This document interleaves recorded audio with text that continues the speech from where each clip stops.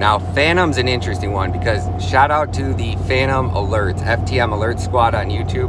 Man, I love those guys, but I hate when retail investors are not given all the facts. The facts are that nobody in history has ever been able to scale a proof of stake blockchain, let alone a proof of stake DAG. So Fantom is a DAG, a directed acrylic graph, meaning that there is no chain of blocks, there is no immutable record and eventually a DAG will get to a point where as they scale, they will hit that threshold where they can't scale.